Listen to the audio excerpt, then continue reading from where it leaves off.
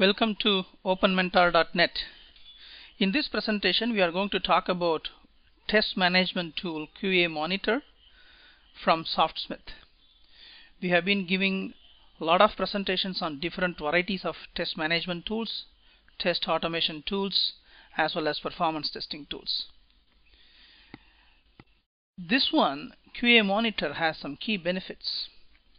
Using this tool, this is a web-based system so you have a the management has total visibility across the company. It's a software as a service version and that reduces infrastructure of having machines, air conditions, power, internet connections and reduces the effort by 90%. You have real-time dashboards. You can get quick metrics and statistics. You don't have to use a lot of scattered spreadsheets, so many emails, communication gaps. Enables the teams to collaborate better, faster.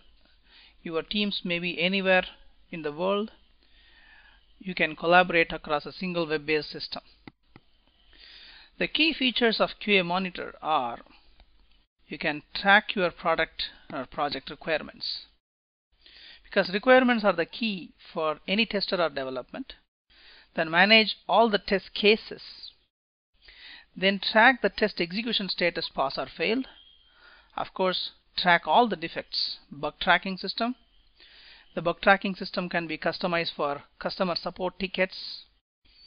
Then calculate all the time card details of every team member across activities. You can have your tasks in a high in a typical MS project or open project like hierarchical manner there's a Kanban cards which increases the to-do list efficiency. This tool QA Monitor has got amazing built-in charts and dashboards. You can compare things across projects. You can get reports to get the exact details inside every project. The bug tracking workflow can be customized. The product shoots emails as alerts or notifications. No single UI can satisfy every customer. So the UI fields can be customized, labels, you can add new fields, etc. etc. With that introduction, we jump into the tool. What you are seeing is the login part of this tool. There are three different users, administrators I mean. One is the sysadmin, second is the enterprise admin, e-admin, third is the project admin. The other users are project users. The first thing is sysadmin will create an enterprise. You could see the enterprise, something has been, Softsmith has been created. Once the enterprise is created, the enterprise admin logs in. Once the enterprise admin logs in, there will be a home page. Right now, in this enterprise, there is no project. If you pull in over here, there is no project defined. This is an empty enterprise. The first thing people need to go is go to the settings. The enterprise admin needs to create users.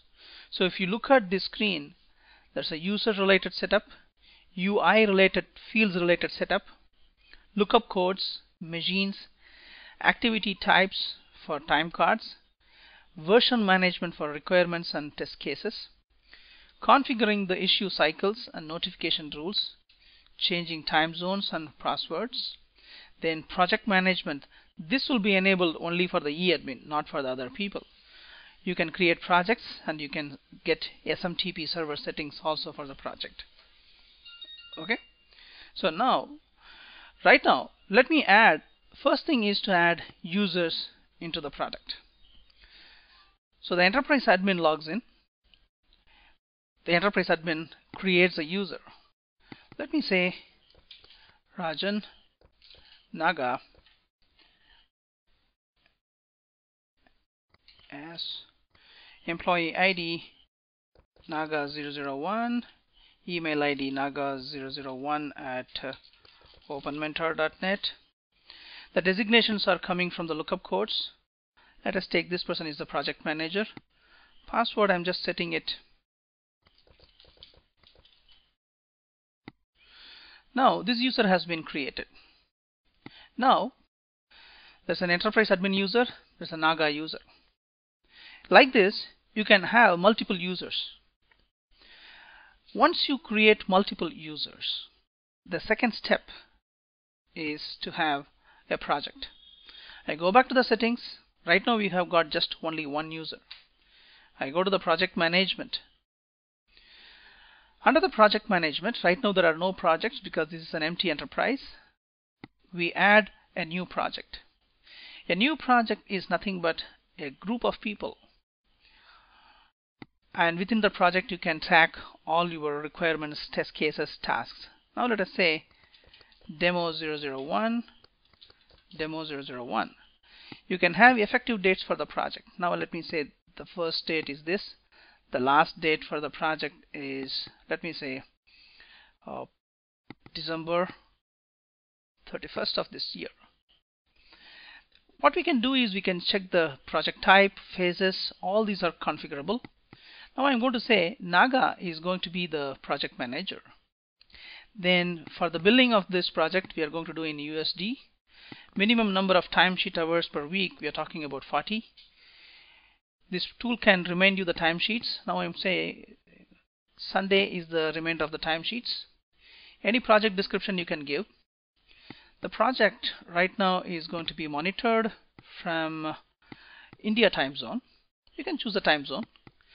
Any codes that you want to have a prefix for the bugs some companies use BUG or some companies use DEF or you can just see just only numbers that's also fine. You can have requirement codes either auto generated or manual entry. Right now we are going to have manual entry for requirement codes.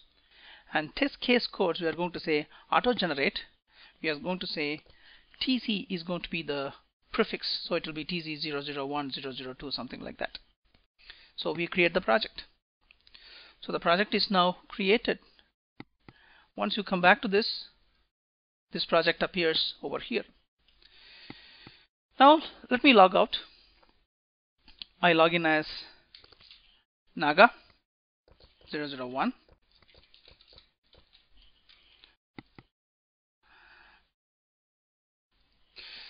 Sorry, we have to use the user ID. I was using the username. The user ID was Rajan. I give the password, get into the app. Once you go here, right now it's empty.